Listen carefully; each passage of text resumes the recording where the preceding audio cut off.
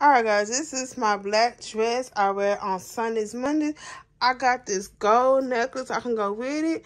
Also, I have a red necklace. Red necklace, I can't find it.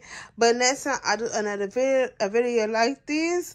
But um, I'm going see. I can throw in some red shoes, red. It don't matter. Gray shoes, black goes with everything. So yeah, that is my gold necklace. I could do gold, red.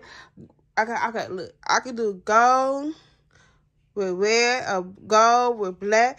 It don't matter. So, in this dress right here, it will cover up the necklace.